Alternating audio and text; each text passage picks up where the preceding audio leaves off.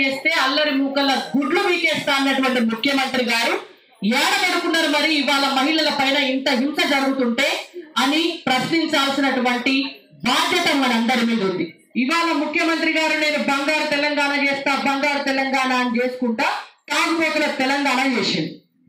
Tollgate దగ్గర lorry లాపుకొని గంటల తరబడి ఎక్కడ పడితే అక్కడ మందు దొరికితే తెచ్చుకొని తాగి తాగిన మైకంలో కదా ఈ నేరం జరిగింది. తాగిన కదా సోయి లేకుండా అక్కడ ఒక ఆడపిల్ల కనబడంగానే వీళ్ళంతా పోయి అత్యంత కిరాతకంగా ఆ అమ్మాయి నోట్లో కూడా మద్యం తాగిపించి పాపం ఊపిరాడకుండా చేసి అత్యంత కిరాతకంగా చంపారు మరి ఈ మద్యం అమ్మకాలను ప్రోత్సహించుకుంటా కిలోమీటర్కు మద్యం షాపులు పెట్టినటువంటి ముఖ్యమంత్రిది కాదా ఈ నేరం? ఇందాక ఒక అమ్మాయి అన్నది కళ్యాణలక్ష్మి పథకం మాకెందుకు సార్? మేము చదువుకునేటందుకు మీరు ఒక పాలసీ తీసుకురండి అని. ఈ రాష్ట్రంలో మన కర్మగాలి మనందరం కొట్లాడి తెచ్చుకున్న తెలంగాణ రాష్ట్రంలో ఎడ్యుకేషన్ పాలసీ ఉండదు ఎంప్లాయ్మెంట్ పాలసీ ఉండదు ఎక్సైజ్ పాలసీ మాత్రం ఉంటుంది మందు పాలసీ ఒక గంట ఆలస్యం కాకుండా ఒక రోజు ఆలస్యం కాకుండా time to time excise policy రెండేళ్ళకు ఒకసారి తెలంగాణ రాష్ట్ర ప్రభుత్వంలో భారతదేశంలోనే కాదు మొత్తం ప్రపంచంలో కూడా ఎక్కడ చేయనంత స్పీడ్గా అదొక్క పాలసీనే ఇంప్లిమెంట్ చేస్తారు. ఎక్కడెక్కడ బార్ షాప్ పెట్టాలి? మొత్తం ఉండాల్సిన బార్ ఒక్క బార్ షాప్ అన్నా పెట్టుతా నన్నోడు పెట్టకుండా ఉన్నాడా? తెలంగాణ రాష్ట్రంలో? లేదు. ఇవాళ భారతదేశం మొత్తంలో మద్యం అమ్మకాలు ఎక్కడెక్కడ జరుగుతున్నాయంటే తెలంగాణనే జరుగుతాయి. ఎక్కువ మంది తాగి తిరిగి ఇళ్ళలోకి వచ్చి భార్యలను కొట్టుకుంటా బిడ్డలను అబ్యూజ్ చేసుకుంటా రోడ్ల మీద కిరాటకాలు చేస్తున్నారు అంటే తెలంగాణలో చేస్తున్నారు. మరి ఇవన్నీ జరిగేటందుకు ఈ హింస జరిగేటందుకు ప్రేరేపించిన ఎక్సైజ్ పాలసీ తెచ్చినటువంటి ముఖ్యమంత్రిదిగానే ఈ నేరంలో బాధ్యత. ఇవాళ ఉన్న వ్యవస్థలా ఇంత అఘాయిత్యం ఇంత ఘోరం జరిగితే ముఖ్యమంత్రి గారు బయటకు వచ్చి ఒక్క మాట మాట్లాడాడు ఇవాళ సిగ్గు లేదు తెలంగాణ రాష్ట్ర ప్రభుత్వానికి. ఒక మహిళా కమిషన్ లేదు తెలంగాణలో. మహిళా కమిషన్ లేదు. మనం అడగాలి అది. బంగారు తెలంగాణ తెస్తాం మేము మహిళలను ఉద్ధరిస్తాం మహిళల హక్కులను రక్షిస్తాం అని చెప్పేటోళ్ళు ఇవాళ ఒక మహిళా కమిషన్ ఎందుకు వేయలేదు? ఇద్దరు మహిళా మంత్రులు ఉన్నారు. ఒక్క ప్రెస్ మీట్ పెట్టో లేకపోతే ప్రజల దగ్గరికి పోయో గిట్ జరిగింది గిట్లా జరుగుతుంది భవిష్యత్తులో మేము జరగనియము మేము ఉండము మీకు అని గింత ధైర్యం చెప్పే పరిస్థితి లేదు తెలంగాణ రాష్ట్రంలో. ఇవాళ హోంమంత్రి గారు ఒక మాట మాట్లాడతారు.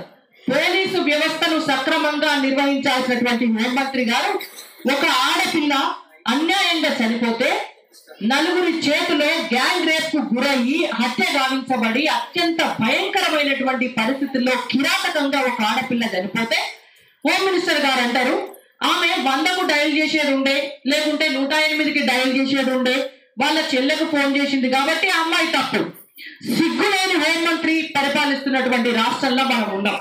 మీరందరూ అడగాలి హోంమంత్రి నీకు సిగ్గు శరం ఉందా ఏమన్నా శంషాబాద్ లా లారీలు పెట్టుకొని పోయి గంటల తరబడి ఆడ కూర్చొని లారీలు పార్క్ చేసుకొని లారీ డ్రైవర్లు కూర్చుంటే పెట్రోలింగ్ పోకుండా ఈ పోలీస్ డిపార్ట్మెంట్ ఏం చేస్తుంది? హోంమంత్రి సంకనాక్తుందా ఇంట్లో కూర్చొని? మనందరం కూడా అడగాలి. నీ బాధ్యత నువ్వు నిర్వర్తిస్తున్నావు అనయ్య హోంమంత్రి అని అడగాలి మనం అందరం ఇవాళ పెట్రోలింగ్ పోయేటటువంటి పోలీసులు ఎందుకు పోలేదు? ఆడ లారీలు ఎట్లా పార్క్ చేయనిచ్చారు ఆ అమ్మాయి పాపం వాళ్ళ చెల్లెకు ఫోన్ చేసిన తర్వాత ఫోన్ స్విచ్ ఆఫ్ అయితే వాళ్ళ తల్లిదండ్రులు వాళ్ళ చెల్లె పోలీస్ స్టేషన్లకు పోయి కంప్లైంట్ ఇస్తే మా పరిధిలో లేదు మా పరిధిలో లేదు మా పరిధిలో లేదు అని వాళ్ళని పంపించేసి మీరు నాలుగు గంటల టైం వేస్ట్ చెప్పించారు ఏ పోలీస్ స్టేషన్కి వస్తే వాళ్ళ పరిధిలో లేకపోతే పరిధిలున్న పోలీస్ స్టేషన్కి అక్కడ ఉన్నటువంటి పోలీసులను ఫోన్ చేయలేరా?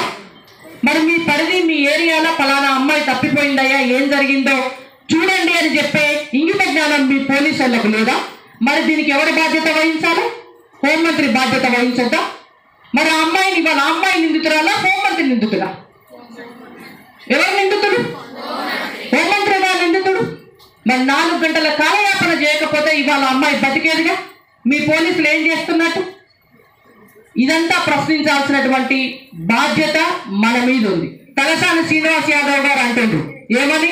ఇంటికో పోలీస్ పెడతాం అనయమేమో మహిళల రక్షణ వాళ్ళు చూసుకోవాలి కానీ అని. అయ్యా తలకాయ లేని తలసాని శ్రీనివాస్ యాదవ్ మేము ఇంటి పక్క పోలీసులు పెట్టమని అడుగుతలేము ఇవాళ ఉన్న పోలీసులను సక్రమంగా పనిచేయమని అడుగుతున్నాం. ఇవాళ ఆడపిల్లలు రోడ్డు మీద పోతే వాళ్ళకు రక్షణ దొరకాలి అంటే ఒక కంప్లైంట్ వస్తే తల్లిదండ్రులు తోడబుట్టిన వాళ్ళు వచ్చి కంప్లైంట్ ఇస్తే అమ్మాయి తప్పిపోయిందా? ఎవరితోటో లేచిపోయింది కావచ్చు? ప్రేమ వ్యవహారం కావచ్చు? ఇట్లా మాట్లాడకుండా తల్లిదండ్రులను గౌరవించి వాళ్ళ ఆవేదనను అర్థం చేసుకొని వెంటనే పెట్రోలింగ్ వ్యవస్థను అలర్ట్ చేసి మీరు సీసీ కెమెరాలను మంచిగా చూపించి తప్పు చేసిన ఎన్కౌంటర్ చేసి పారేసి ఇంకొకటి ఆ పని చేయకుండా చూడమని మేము అడుగుతున్నాము అని చెప్పాలమ్మా. సమస్యకు పరిష్కారం ఎక్కడ దొరుకుతుంది? సమక్ష సమస్యకు మూలం ఎక్కడుంది? దాన్ని ఎట్లా పరిష్కరించాలి? దాని వంతుగా మన బాధ్యత ఏంది అనేటువంటిది మాత్రమే మనం చేయాల్సినటువంటి పని. ఎందుకంటే ఇవాళ మానస ఉండొచ్చు ప్రియాంక ఉండొచ్చు రేపు ఆ స్థానంలో మనం కూడా ఉండొచ్చు. మనం కూడా ఉండొచ్చు. మనం అలర్ట్గా లేకపోతే ఈ వ్యవస్థలు మన కోసం పనిచేయకపోతే రేపు ఆ స్థానంలో మనం కూడా ఉంటాం. నేను వ్యవస్థను ప్రశ్నించాలి అని ఎందుకు అంటున్నా అంటే మన బాధ్యతతో పాటు ఇండివిజువల్గా మనం చట్టాలు చేయలేము ఇండివిజువల్గా మనం చట్టాలను నడిపించలేము ఒక డిపార్ట్మెంటు ఒక ప్రభుత్వము వాళ్ళ వంతు బాధ్యతగా మహిళా రక్షణ కోసం వాళ్ళు పనిచేయాలి.